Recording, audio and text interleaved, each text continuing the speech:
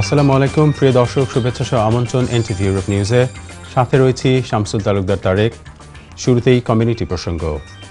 Sylhet city corporation নির্বাচনে সম্ভাব্য mayor প্রার্থী সিলেট মহানগর বিএনপির সাধারণ সম্পাদক বদরুজ্জামান সেলিম এর সমর্থনে যুক্তরাজ্যের সাসেক্সে এক মতবিনিময় সভা অনুষ্ঠিত হয়েছে।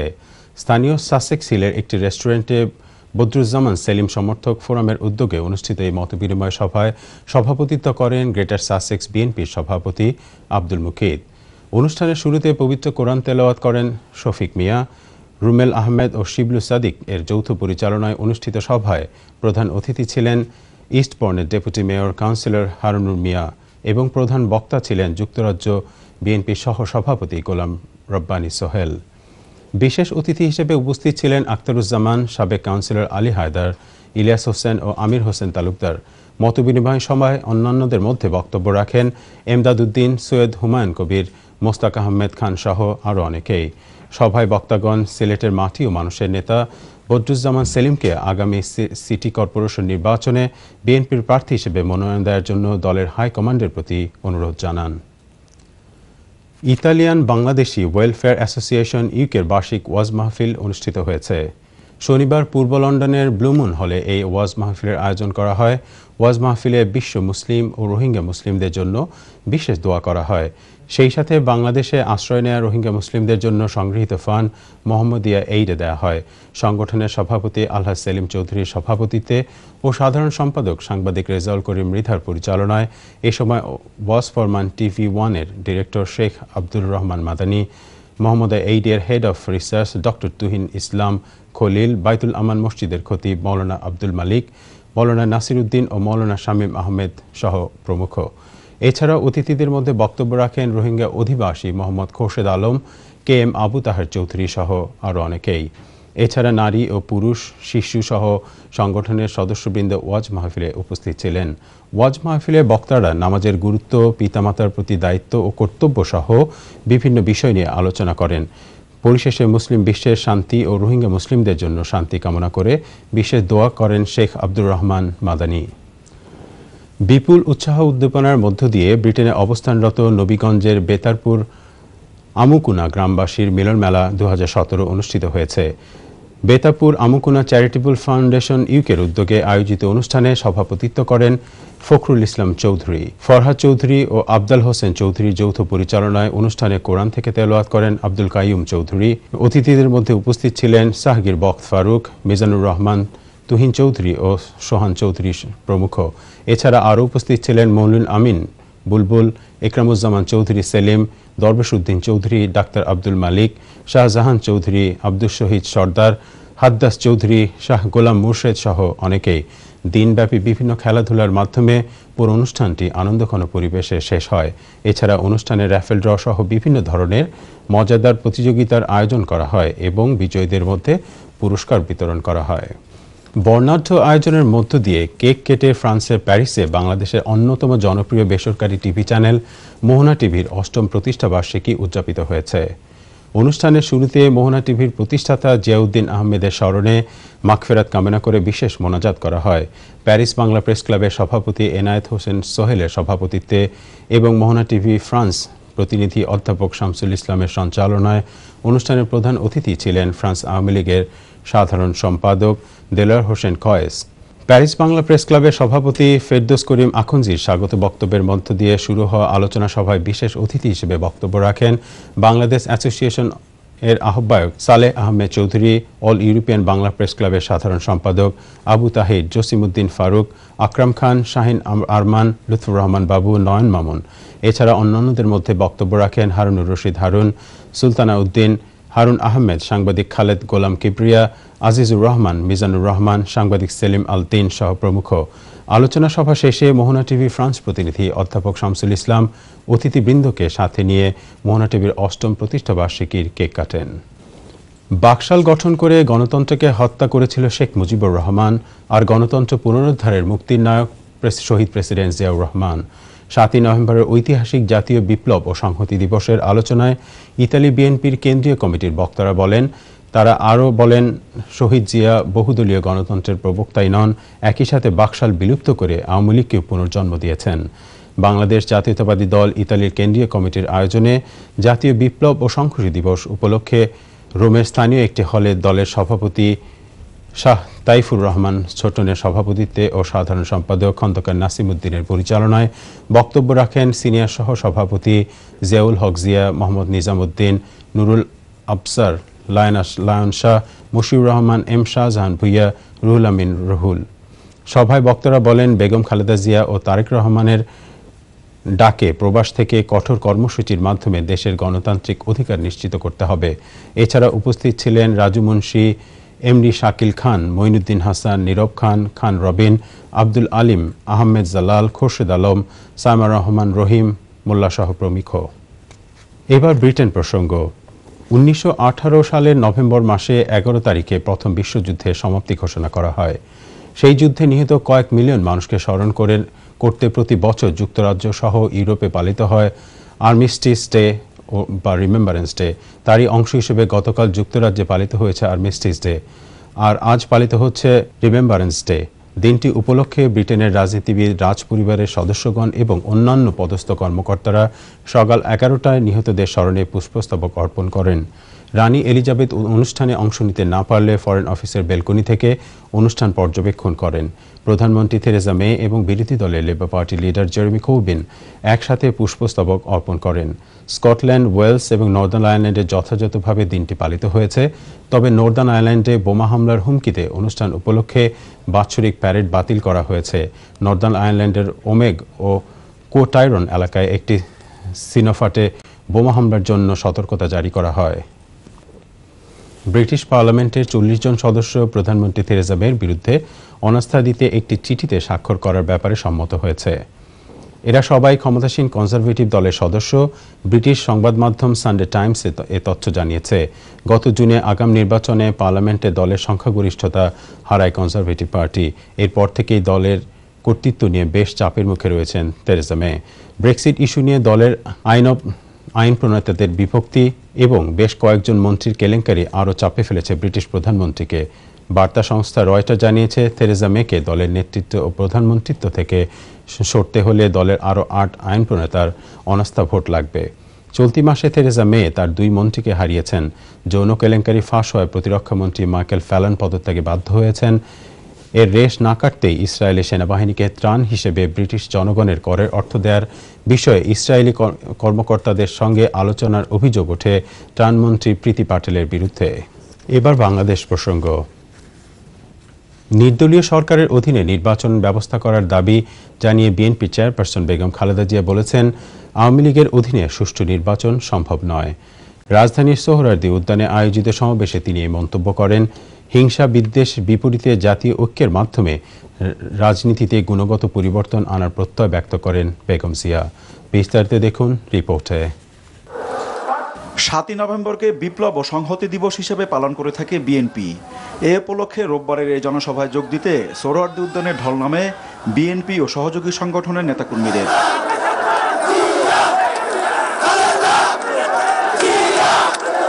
শুধু রাজধানী নয়, ঢাকার আশপাশের জেলার নেতাকর্মীদের উপস্থিতিতে দুপুরের আগেই কানায় কানায় পূর্ণ হয়ে যায় জনসভা স্থল। বেলা তিনটায় সেখানে পৌঁছান বিএনপি চেয়ারপারসন বেগম খালেদা জিয়া। বক্তব্যের শুরুতেই জনসভায় আসতে নেতাকর্মীদের বাধা দেওয়ার অভিযোগ করে তিনি বলেন, আওয়ামী লীগ জনগণকে ভয় পায় বলেই এ ধরনের বাধা দিয়েছে।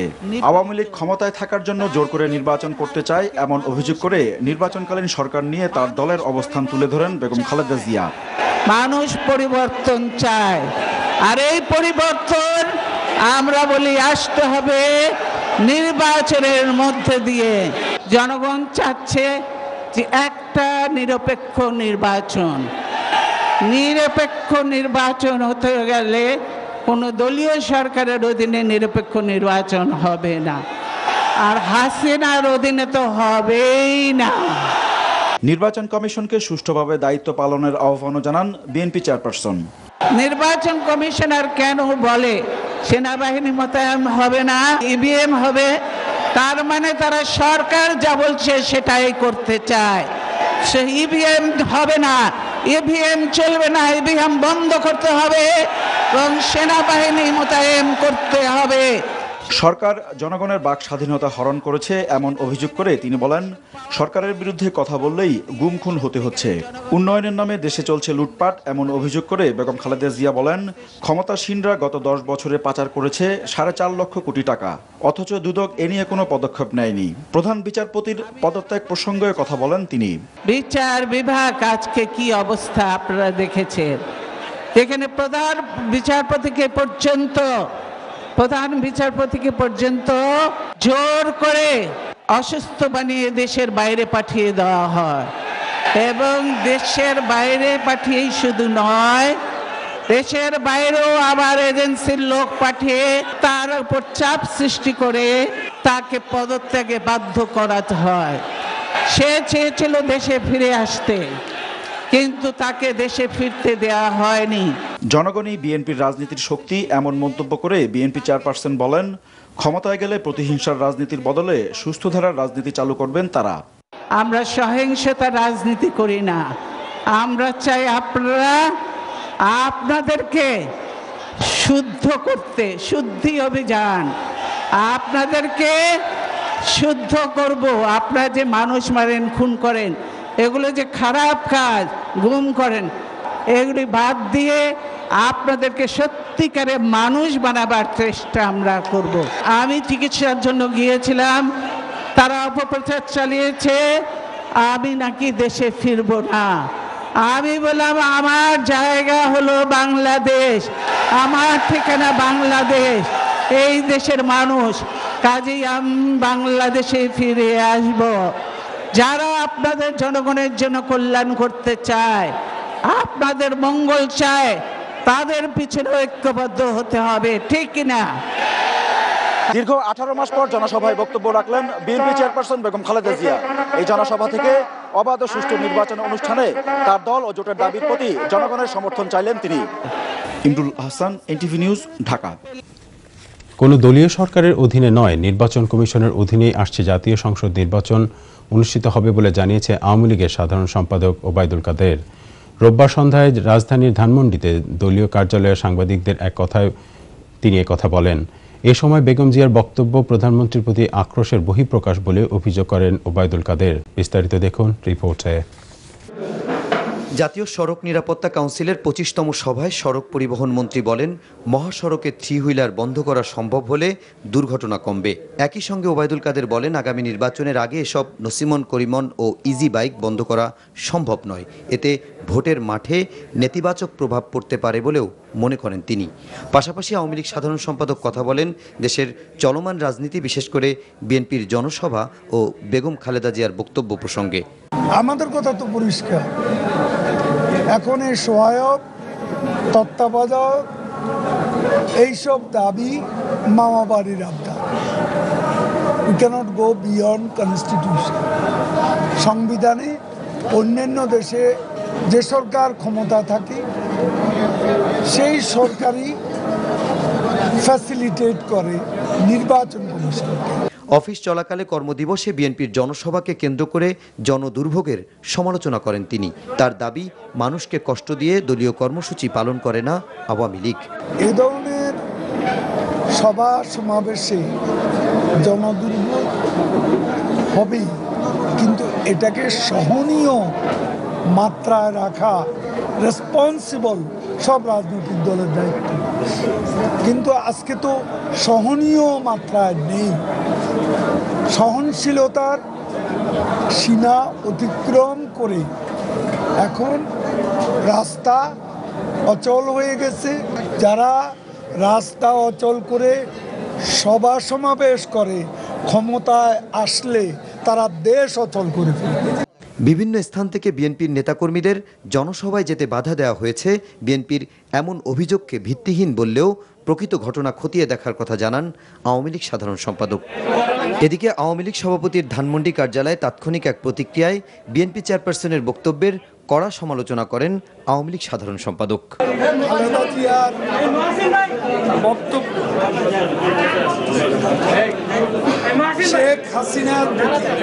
খালেদা শেখ জিয়ার অন্ধ আক্রোশের নগ্ন বহিঃপ্রকাশ। প্রধান বিচারপতিকে সরকার পদত্যাগে বাধ্য করেছে বেগম জিয়ার এমন বক্তব্যকে হাস্যকর বলেও মন্তব্য করেন ওবায়দুল কাদের। প্রধান বিচারপতির মতো একজন মানুষ তাকে এভাবে বিদেশে গিয়ে এজেন্ট গিয়ে সরকারে কি করবে? পদত্যাগ করবে। এটা হাস্যকর। Muksimul Ahsan NTV news Dhaka. প্রধান বিচারপতি এস কে সিনহার পদত্যাগ ছাড়া উপায় ছিল না বলে মন্তব্য করেন attorney general Mahbubey Alam. S K সিনহার পদত্যাগ করার বিচার বিভাগ ভারমুক্ত হয়েছে। রোববার দুপুরে নিজ কার্যালয়ে সাংবাদিকদের প্রশ্নের জবাবে কথা বলেন তিনি। এস কে সিনহার বিরুদ্ধে ওঠা দুর্নীতির অভিযোগ তদন্তে রাষ্ট্রপতি সিদ্ধান্ত নেবেন বলে জানান তিনি। বিস্তারিত দেখুন রিপোর্টে। সুপ্রিম কোর্টে ভাস্কর্য স্থাপন, নিম্ন আদালতের বিচারকদের শৃঙ্খলা বিধি নিয়ে সরকারের সাথে টানা পোড়েনের মধ্যে ষোড়শ সংশোধনী মামলার রায়ের পর প্রধান বিচারপতি এস কে সিনহার পদত্যাগের দাবি ওঠে সরকারের বিভিন্ন মহল থেকে। এমন সময় হঠাৎ এক মাসের ছুটি নিয়ে অস্ট্রেলিয়া চলে যান প্রধান বিচারপতি। দেশে ফিরে আবারও দায়িত্ব নেওয়ার ঘোষণা দিলেও মেয়াদ পূরণের একাশি দিন আগেই পদত্যাগ করেন বাংলাদেশের একুশতম প্রধান বিচারপতি।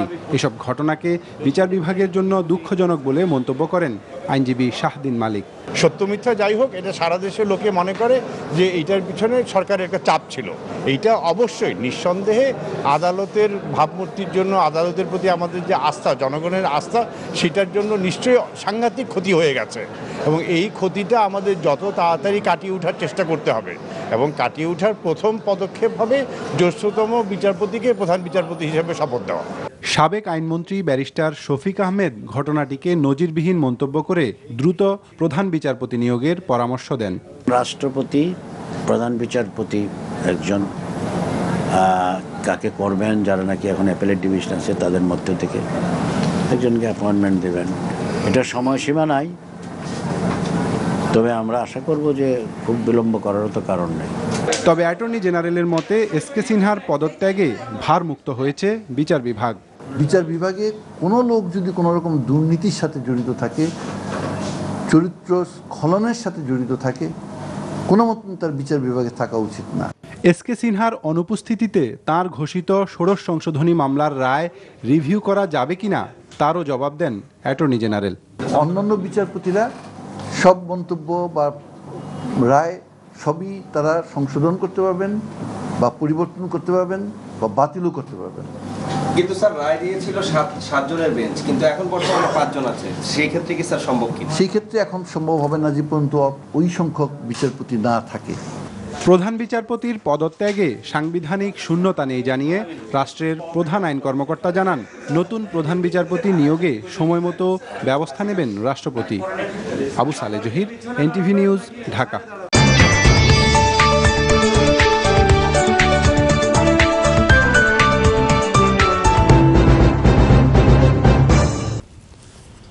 হবিগঞ্জের বাহুবলে সংরক্ষিত নারী আসনের এমপি অ্যাডভোকেট কেয়া চৌধুরীর উপর হামলার প্রতিবাদে মিরপুর আলিফ সোবহান চৌধুরী ডিগ্রি কলেজের শিক্ষক ও শিক্ষার্থীরা মানববন্ধন করেছেন। রবিবার দুপুরে কলেজ প্রাঙ্গণে অনুষ্ঠিত মানববন্ধনে বক্তব্য দেন কলেজের অধ্যক্ষ মাহবুবুর রহমান, কলেজ গভর্নিং বডির সদস্য আকসর আলী, স্থানীয় ইউপি চেয়ারম্যান হাবিবুর রহমান টেনু প্রমুখ। সমাবেশে বক্তারা হামলার ঘটনায় বাহুবল উপজেলা পরিষদের ভাইস চেয়ারম্যান তারামিয়া ও হবিগঞ্জ জেলা পরিষদের সদস্য আলাউর রহমান শাহেদকে দায়ী করে তাদের বিচারের দাবি করেন। বাংলাদেশে শিক্ষার পরিবেশ যুক্তরাজ্যের সাথে সেতুবন্ধন দৃঢ়করণের লক্ষ্যে চ্যারিটি সংগঠন Life Plus UK chairman Shafiur রহমানের আমন্ত্রণে ব্রিটেনের তিনজন পার্লামেন্টেরিয়ান ও চারজন কাউন্সিলরকে সম্বর্ধনা দেওয়া হয়েছে। বাহুবল উপজেলা স্নানগাইট ইউনিয়নের ওয়াহিদ চৌধুরী উচ্চ বিদ্যালয়ের মাঠ প্রাঙ্গণে এই উৎসব মুখর সম্বর্ধনার আয়োজন করা হয়।